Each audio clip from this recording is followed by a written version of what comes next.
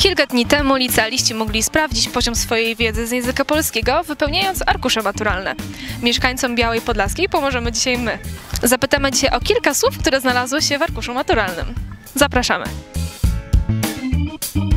Solidaryzujemy się z maturzystami w tym roku. Rozmawiamy o języku polskim, bo oni niedawno pisali maturę z języka polskiego. Tam w arkuszach znalazło się kilka takich słów, o które dzisiaj pytamy mieszkańców Białej Podlaskiej. Co oznaczają? Znalazło się tam słowo imperatyw. Cóż to może być? Nie wiem. Czym się kojarzy? Kojarzy? Ratów? Nic mi to nie mówi. Nie wiem, nie, nie kojarzę. Imperatyw to chyba coś z gramatyką. Em, Nie wiem. Tam akurat mieli przypis, było im łatwiej. Imperatyw, imperatywnie odnośnie zachowania? Chyba nie. To jest taka e, nakaz, reguła. No, być może. Być może. Na przykład takie wyrażenie też się znalazło wyciągnąć z lamusa. A, i ojca świta mi z lamusa. Nie wiem. z lamusa? Tak, że coś, jak, coś dużo go leżało i po prostu wyciągnąć to. z jakiegoś tam kąta jakąś starą rzecz, niemodną, nieaktualną. Takie stare, zapomniane fotografie. To było na tej maturze w tym roku? Ojejku. Ja miałem prostszą maturę. A słowo groteska. Czym jest groteska? A to jest pytanie. Trudniejsze? Troszeczkę trudniejsze. To coś było, tak, coś kojarzę.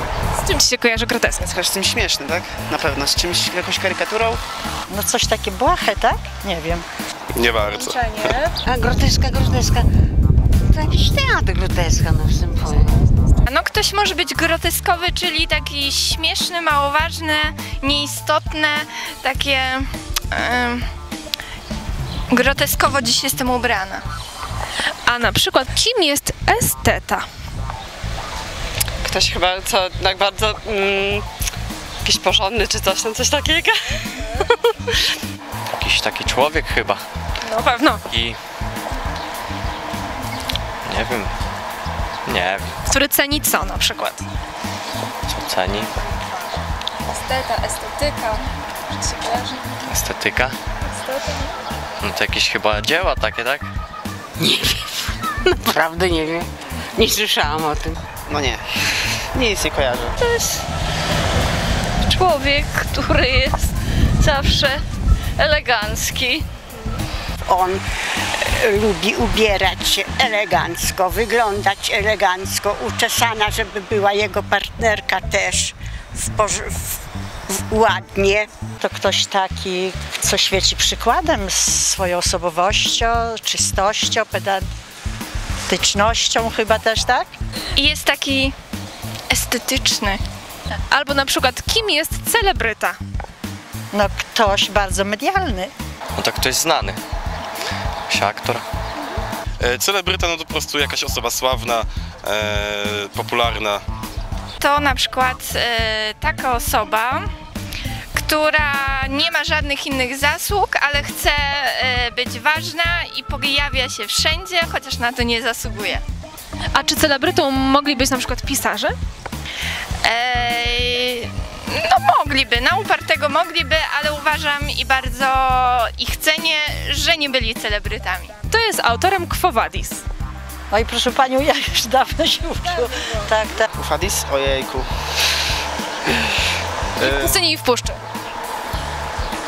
Mickiewicz, tak? Chłowadis, Domine, Sienkiewicz. Sienkiewicz. Czy dobrze, a na imię miał? Sienkiewicz. Henryk. Bardzo dobrze. Czyli e, te arkusze mogą być łatwe czy trudne w tym roku? No mogą być trudne. Poradziłbyś sobie, jak myślisz? Pewnie nie. Czy warto sobie przypominać znaczenie takich słów? No, no, no w życiu się niby one nie przydają, ale na maturę na pewno. Dziękuję. Zdałybyście na piątkę. Z pomocą? Na wyniki z egzaminu z języka polskiego trzeba jeszcze trochę poczekać, ale mam nadzieję, że wszyscy maturzyści poradzili sobie z nim śpiewająco. Kim jest celebryta? Oj, nie chcę o tym mówić, wiem. Pani, teraz namnożyło się ich jak psów. Nie chcę o nich mówić. Dziękujemy. Bardzo dobrze. Wszystkie pytania się udało odpowiedzieć. Naprawdę? Jeden lepiej, trochę drugie gorzej. Może fajnie. To puśćcie to. Dobra.